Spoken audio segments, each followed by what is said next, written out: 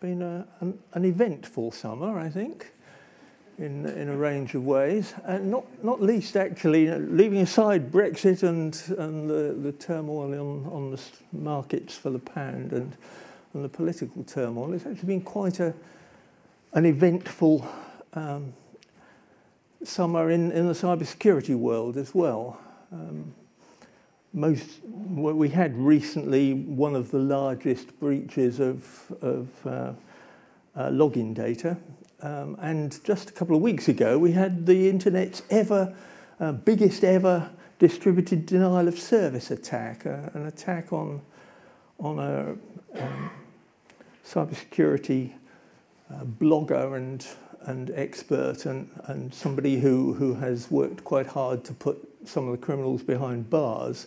Uh, there was a revenge attack on his, his website. He's Brian Krebs. He runs the website, Krebs on Security. Uh, and he got hit by a terabit per second of, of data thrown at, at the website. Um, and despite the fact that he got all kinds of defenses there, it just completely overwhelmed everything that, uh, that he could do to, to deflect it. The really interesting thing about the attack was that the, the vector for the attack, the machines that were attacking him, uh, were um, CCTV cameras and video recorders, uh, which people had connected to the internet and had not changed the default usernames and passwords. And so there's a botnet out there with the capability of launching that kind of attack, built out of essentially, you know, early parts of the Internet of Things. And if you're, if you're running any devices that have got default usernames and passwords, can I exhort you to go home and change the default password? Because the, the code that recruited that botnet has been released on the internet.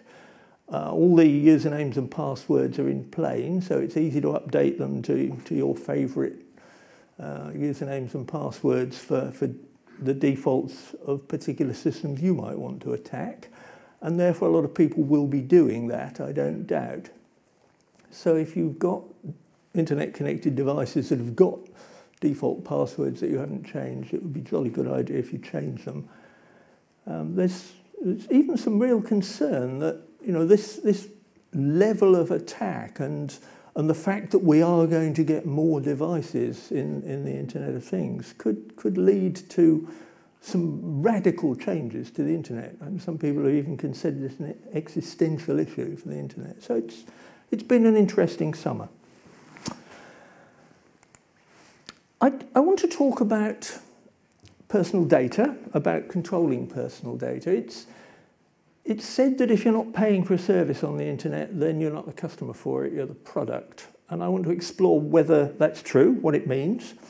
And I'm going to use as an example uh, Twitter, Facebook, and Google mainly, but a lot of what I say will apply to a very wide range of other websites and a lot of it will pay to uh, will, will, will apply to to paying websites, to, to websites that are, uh, you know genuinely part of shops, Amazon for example, because they need the personal data for, for a whole range of reasons as well. So that it, it reads across to a, to a lot more. I'm not specifically criticising uh, these, the social media sites that I will be talking about, although they do provide a, a wonderfully powerful example of the things that I want to say. Let's start with some numbers.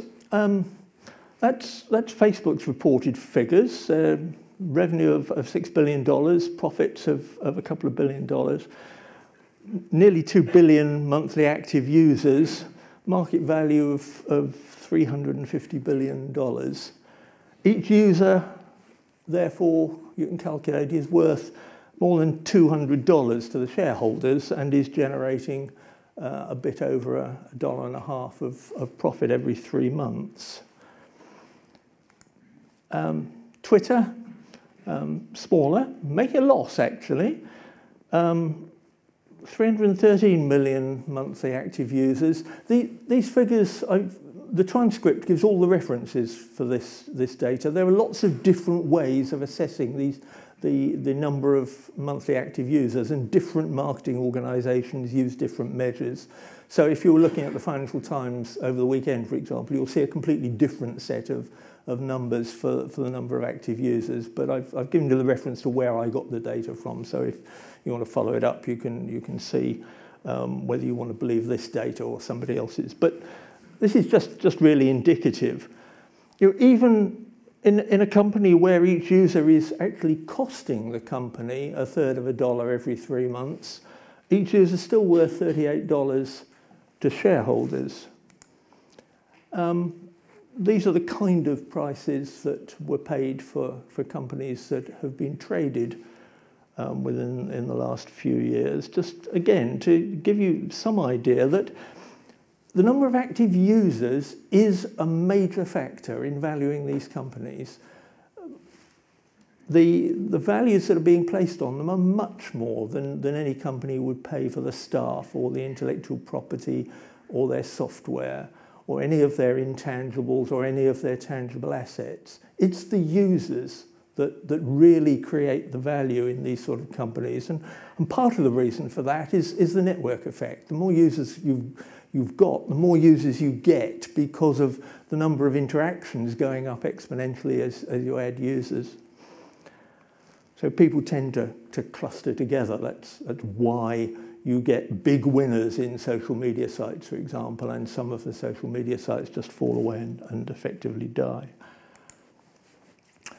So if you're paying that amount of money to buy users, you need to be able to turn the users into profit.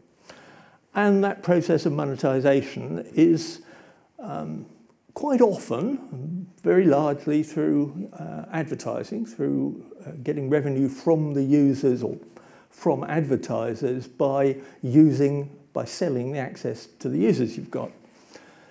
And they'll pay for access you, um, advertisers will pay for access to the users, but only if they can make money out of it, obviously, because they, they need people to do something as a result of the advertisement. Otherwise, they can't afford to go on paying for the advertising. So targeting advertising is absolutely critical to these values. Showing the, the most targeted adverts to the best selected group of people to show those adverts to is what creates the money. Facebook advertising, one, one very good example of, of how it's working successfully. How do they do targeting? They, this is what they say about how you can target your ads if you're an advertiser. You can reach your customers in the area where they live or where they do business with you. You can target by country, county, postcode, the area around your business. You can choose the demographics by, by age, gender, by interests, we'll come back to that, by the languages they speak. The interest you can choose from hundreds of categories. Um, we'll have a look at a, a few of those in a minute just to give you some examples. You can do it by behaviours. You can base the targeting on the things that they do, such as their shopping behaviour, the kind of phone that they use, uh, whether they're looking to, to buy a particular thing that you may be wishing to sell. You can reach people who, who like certain things, and you can reach other people like them, particularly their contacts, their, their network of people. Uh, Facebook will let you target the ads in that way as well. And then they've signed up with a number of partners to um, people like Experian uh, and a number of, of other market research organizations to use the data that they can get from publicly available sources or, or uh, sources that are only available to them to enable this targeting to, to be done even more effectively. Uh, these descriptions, uh, again, the, the reference to them is in the transcript that you can pick up or which will be on, online in due course. Facebook charges by, by results. So uh, the advertiser agrees a fee, um, says what they're willing to pay for, for a like, for a click through onto a web page, for any of the other actions that, that Facebook offers to advertisers as things that they can put on the ads and, and which they, they can then um, get charged for. So Facebook income depends on showing the right adverts to the best targeted people. And again, as we shall see, keeping them online so that they keep looking at the adverts, keep seeing the adverts, keep having the opportunity to generate revenue for Facebook. So what adverts do you, do you get to see if, if you're a Facebook user? Well, the ones that maximize the revenue to, to the advertisers and, and to Facebook, which you would hope would be the ones that interest you most as well. So it can be presented to you as we're doing you a favour, we're only showing you the adverts you're interested in, but of course the underlying motivation is generating as much revenue as possible. So Facebook algorithms calculate a value for each advertisement, and then when you go onto a page, in real time, an auction is, is conducted between all the advertisements that could be shown in order to display to you the ones that are most likely to generate an action by you that will generate revenue. Google does, does much the same with, with Google AdWords uh, a mechanism that, that enables Google to select the advertisements that are, are being shown to you. Um, you select a, a set of keywords of, of phrases. The, these are the ones that Google would suggest to you if you're selling a cybersecurity product. I typed in cybersecurity. These were the proposals. And, and down the right-hand side is a list of, of Google's estimate of the relative number of people who will uh, actually look for, they'll search for that phrase uh, in a month. And again, the advertiser sets the fee that they're willing to pay Google for somebody clicking through uh, as a result of seeing their advertisement. Um, and, and they set a daily budget to make sure that, that they don't you know, suddenly get runaway success and bankrupt themselves by accident. And, and again, a real-time auction occurs. And I'll show you Google's explanation of, of that in, in just a moment and it determines which ads show and the order in which they show on the page, just, just where they are on, on the page. So this is Google's explanation that AdWords finds all the ads that match the search terms and then it selects those that are eligible to be shown. Uh, so it, it eliminates those that um, have been disapproved. They actually screen every, every advert that is, is put forward to make sure you know, it's not obscene or illegal or um, trying to, to sell something in a country where that would be illegal to be sold and those sorts of things. And, and they rate the advertisements as well on the basis of how effective they think they will be. And then they construct an ad rank, a combination of how much you've bid for that particular ad word the quality of the advertisement, in, in their view, informed by their algorithms and, and perhaps by some personal inspection. Uh, and the expected impact of, of other things that are embedded in your advertisement, the various extensions and you know, events and likes and various things that you can put in, videos that you can embed. And then they run this real-time auction. So in, in those fractions of a second while an, an, an ad, while a search is being processed and the results page is being constructed, this process takes place. Um, that's why they need so many server farms running, running Google. There is an, an enormous amount of processing going on at very, very high speeds to do it. It's hugely impressive technology. How, how do they do the targeting? Well, they are assigning, don't forget, a weighting dependent on how successful they think the advertisement is going to be. So targeting on the basis of personal data matters to Google as well. And they, they use things that you search for because they've got your search history.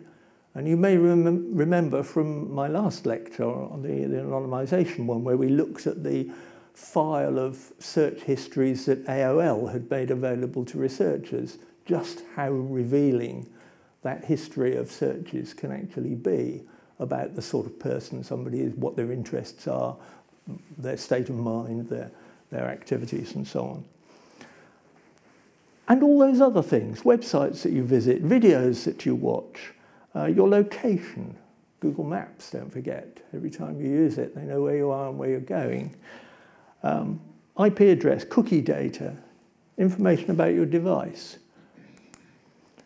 and other data that, that you've provided. Um, all the things that, that you provided when you actually signed up to Google, but also emails that you send and receive on Gmail, um, photos and videos that you upload, um, documents and sheets and slides that you've chosen to store on Google Drive. Google tells, tells its users, of course, that it scans these things. You know, it, it makes it perfectly clear. There's, there's nothing, nothing hidden about this. It's completely open if you, if you dig through the um, privacy data, the, the things that everybody signs up to when they tick the box saying we're, we're quite happy to accept your terms and conditions. But it does mean that, that everything that you're sharing is getting analysed and being used in this sort of way, uh, and potentially in other sorts of ways, but that's, that's um, outside the scope of, of this talk, perhaps. And they explain that they do indeed use it for, for targeting advertisements. How much personal data do social media sites collect? I mean, there's a, a, series of cases kicked off by, by an Australian law student, Max Schrems, um, running through the European courts at the moment. Um, and and he, he forced Facebook to, to provide him with all the information that Facebook held on him. This was some years ago. Uh, and it had 1,200 pages of uh, PDF with 1,200 pages of, of data that they had kept, including, as you can see, deleted chat conversations, um, event inv invitations that he didn't respond to, um, lots of, of data that he hadn't appreciated was being saved.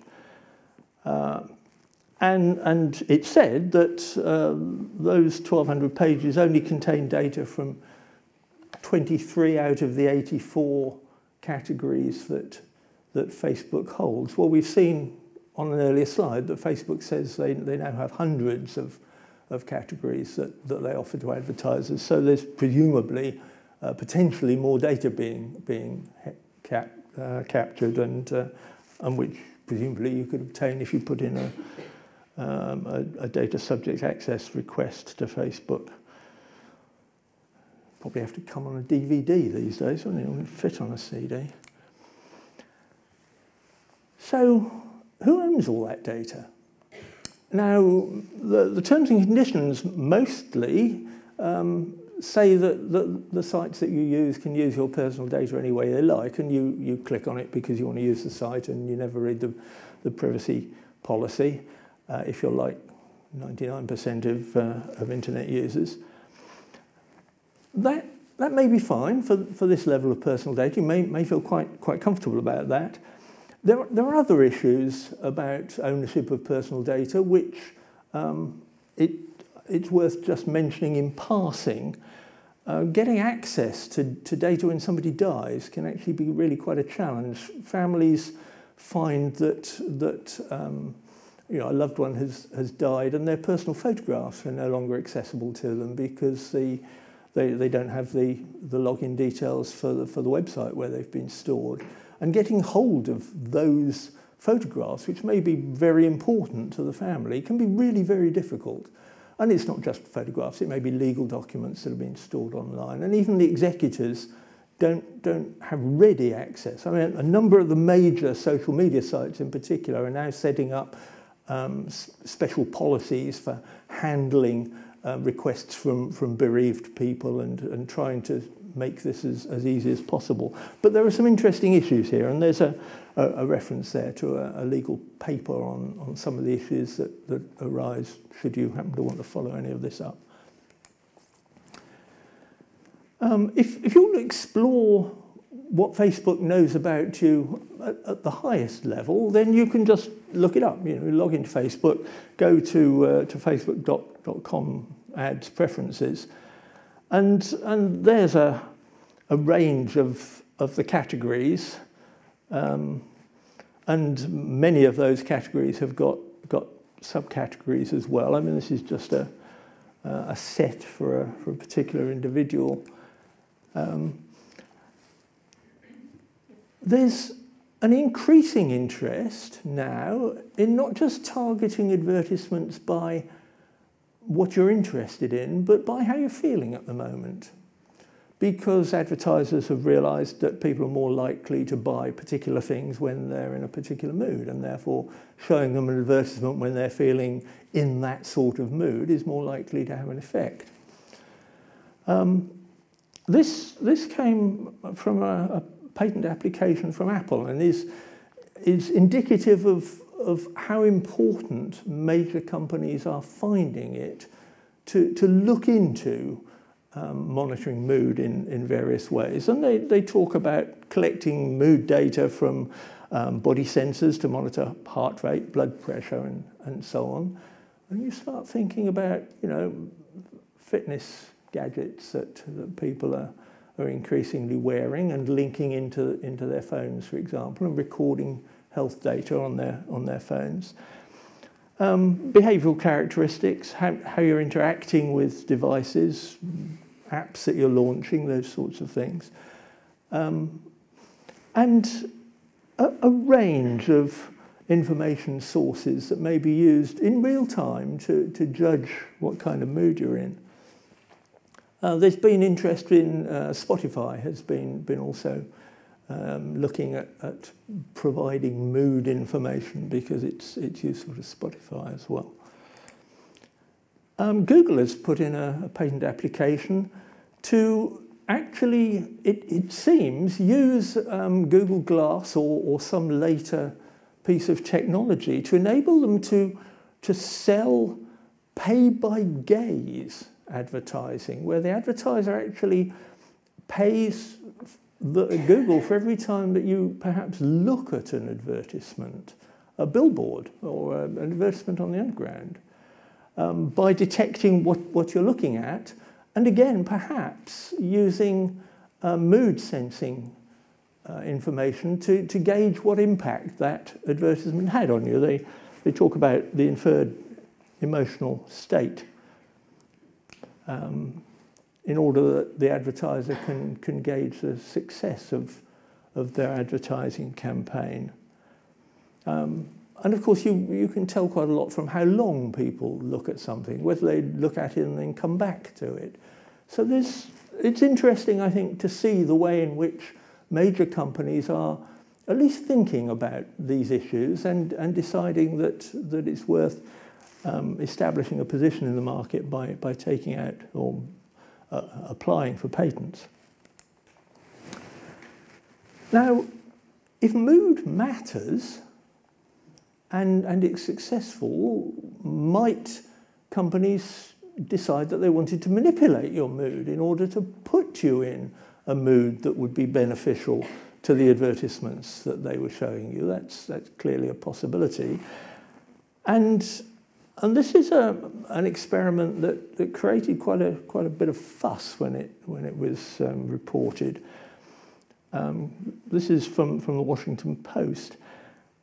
Facebook experimented by, by tweaking the newsfeed algorithms of, uh, of getting on for 700,000 people for a week and, and showing half of them fewer positive posts than, than usual and half of them fewer negative posts than, than usual.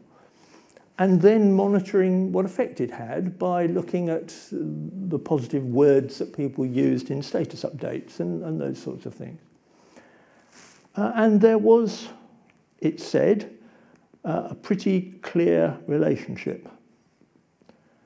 Uh, this was published in a peer-reviewed um, psychology journal.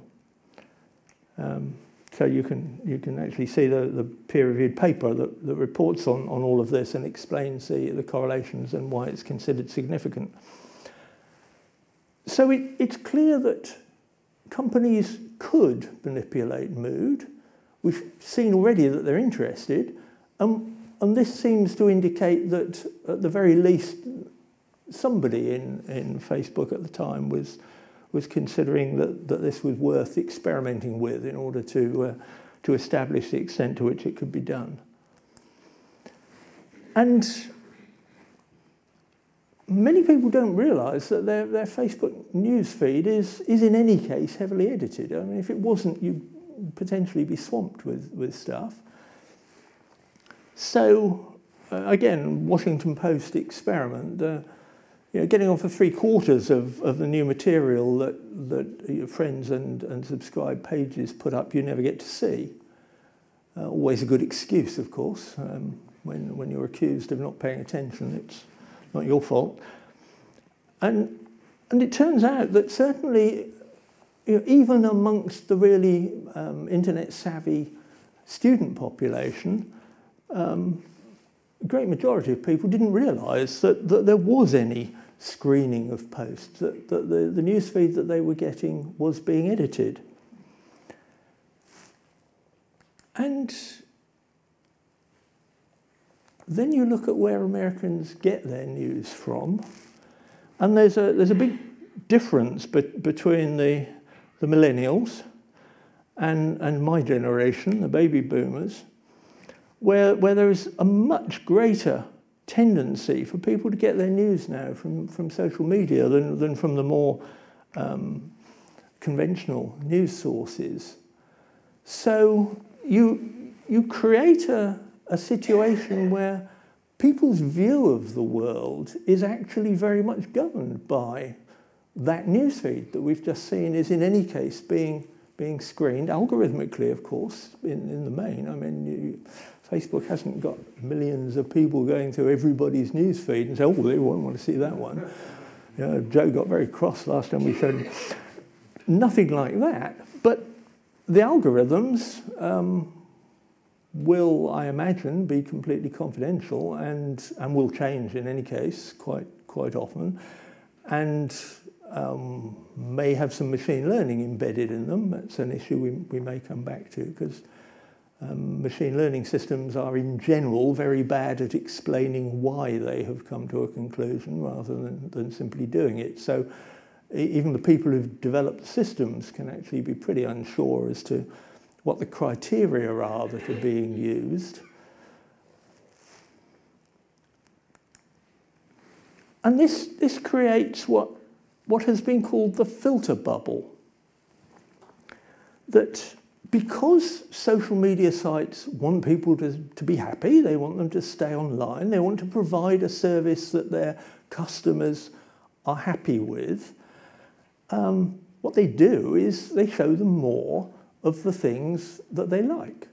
So when you say that you're interested in something, when you like something, when you click on something, and, and it's recorded, it affects what you see next. And so increasingly, the things that you see reinforce the opinions that you already had. And because you get shown things that your friends like in particular, you end up with clusters of people who reinforce each other's views, who share the same views and are increasingly reinforcing those views.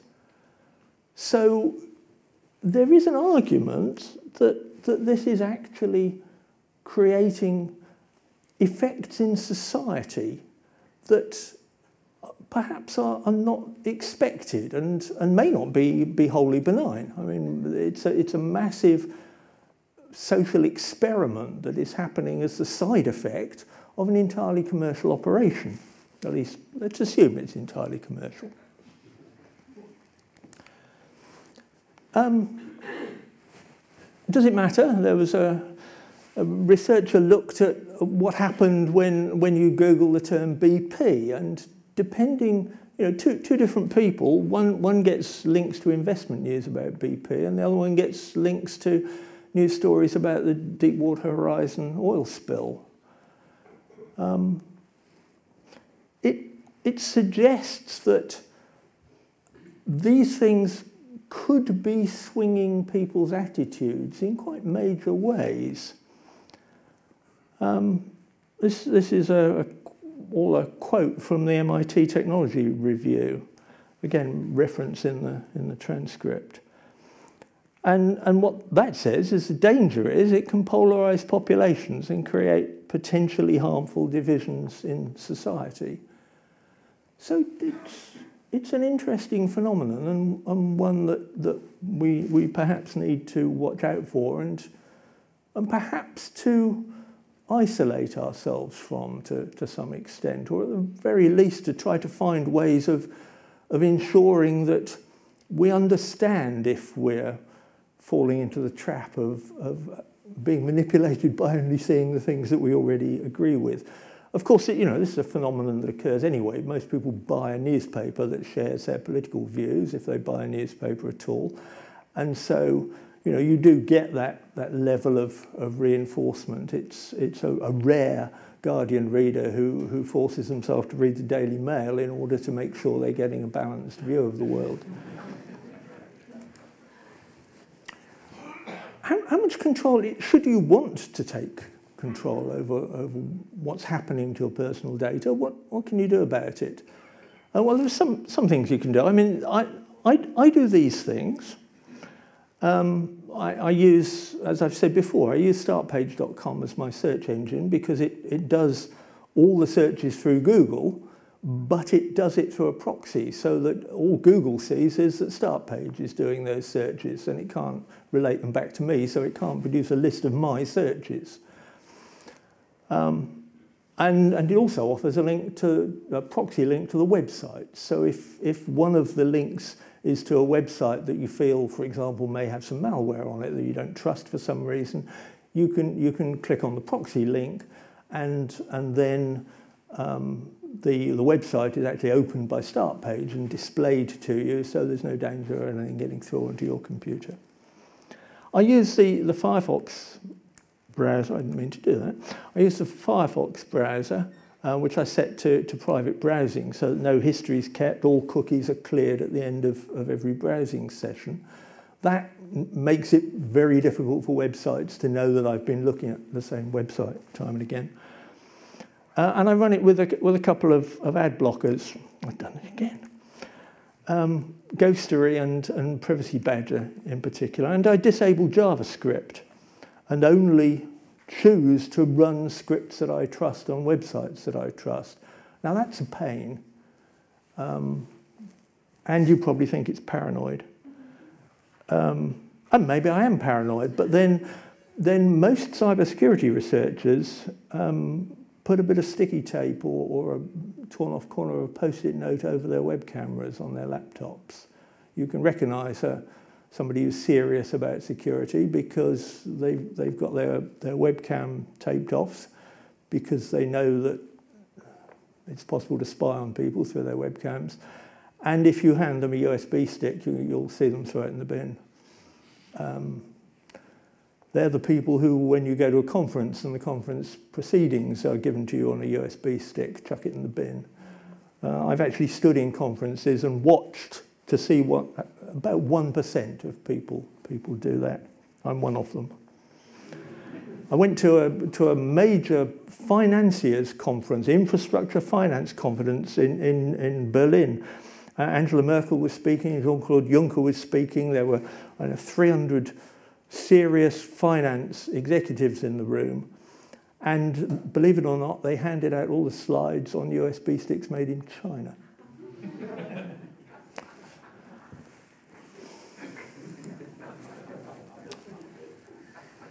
Most young US internet users use an ad blocker. I'm not alone, you see. Um, only only 36% don't use one at all. About a, a, third use one on the desktop, 17% on a mobile, and 14% on, on both. So there is a growing um, recognition that ad blockers are a good, a good thing. Um, this is, this is very recent. This is, this about a week, week, two weeks ago at most. Uh, this, this came out um, from uh, Kaspersky, the uh, um, antivirus and security people. Um, they, they encountered a gratuitous act of violence against Android users by simply viewing their favorite news sites. Um, they can end up downloading a banking Trojan. And what had happened was that the malicious program had been put into an advertisement that was being distributed by the Google AdSense advertising network. And in order to download the Trojan onto your computer and therefore have it stealing your, your bank details if you happen to do uh, internet banking on your phone, which I wouldn't recommend, um, all you had to do was to open the page that displayed the ad. You didn't have to click on it. Just looking at the page that had that ad displayed on it was enough to compromise your telephone. That's why I use an ad blocker. Just going to a website with a malicious advert can infect your phone or, or your computer. Now, this sort of data isn't just used to advertise to you. It's used to affect the prices that, that you see, for example. Um, quite often, I don't know if you, you may have noticed it, you, know, you go looking for a hotel room um, you, you look at a, a, comparison website, you go and look at a, uh, another comparison website, you look at various ho hotel websites. You've, you've got a mental note or you've made a note of where you saw the, the room that you're interested in, the cheapest offer, you go back to it and it's gone. And they're offering you a higher, higher priced one. Maybe, maybe they really did only have one, one room. I mean, some of the websites say, you know, 16 people are looking at this and 14 of them have booked rooms in the last two seconds. And so maybe, maybe it's true. I don't believe it, but maybe it's true. And, and actually, in a number of cases, what has actually happened is that the website has detected that you've been away, you've come back, you're now in a mood to buy that room. You're probably bored with looking. You'd probably pay a bit more. So they offer you a room at a bit more, and they make a bit more profit. And these sorts of algorithms use all kinds of, of data. I mean, some uh, online shopping websites, for example, use your location, which they can get from your IP address, and charge different prices depending on whether there are discount shops within easy walking distance of where you live or where you're currently surfing from. And of course, that discriminates against people who live in particular locations. And some of those people, um, some of the algorithms that are doing that discrimination um, are machine learning algorithms, which will have found things that correlate to people who are prepared to pay a bit more for goods and therefore you, you charge them higher prices. And some of the things that they're using within those algorithms that they've learned to use because they correlate to people who are less price sensitive perhaps, maybe um, protected personal characteristics that it would be illegal to use openly.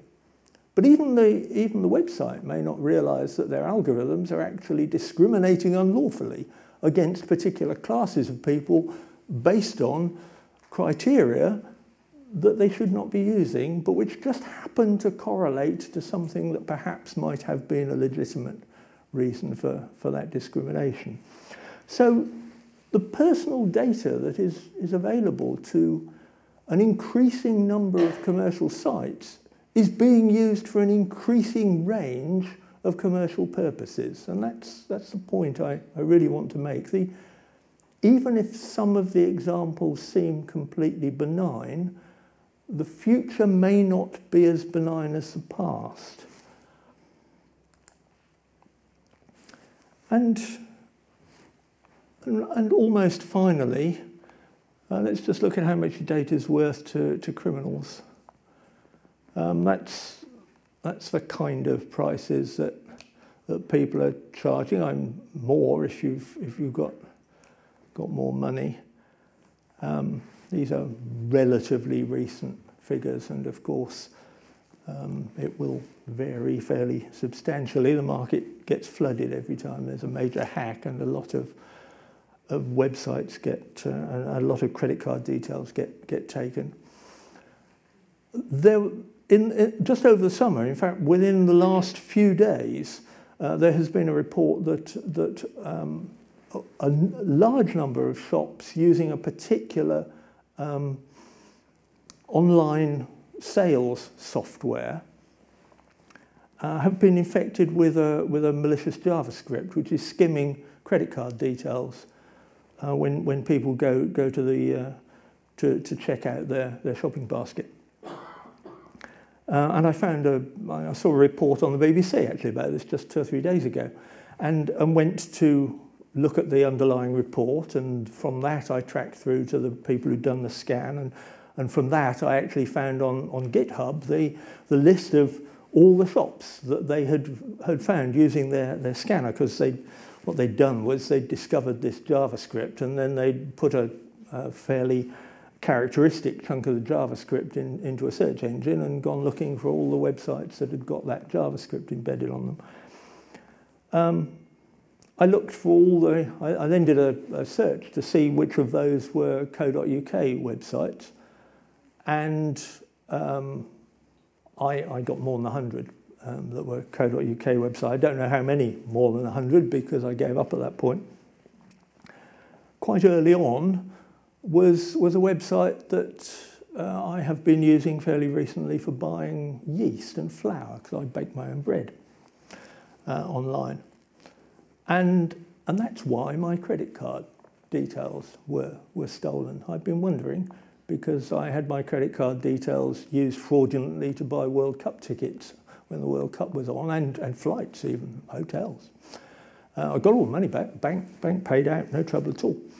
Um, but then I, I got a new card, and, and within a fortnight, uh, the new card had been, had been compromised.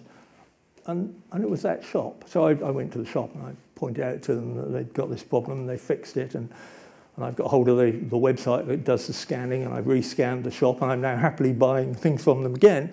Uh, and we shall see whether actually there's a, a deeper compromise in the website. But it, it is interesting, I think, that there are serious issues out there and, and a wide range of, of commercial shops are being compromised to steal this, this sort of data. So the, the problems are not going away yet and we, we just have to hope that the new um, National Cybersecurity Centre that, that is, uh, is just opening up by uh, Victoria uh, will actually be able to make some serious impact on, on the, uh, the threats that are out there. So, in conclusion, what have I said? Your, your time and your personal data are both very valuable to commercial companies. They can be, they can be monetized. And the amount of data that they are collecting is already surprisingly large, and, and it, it creates power.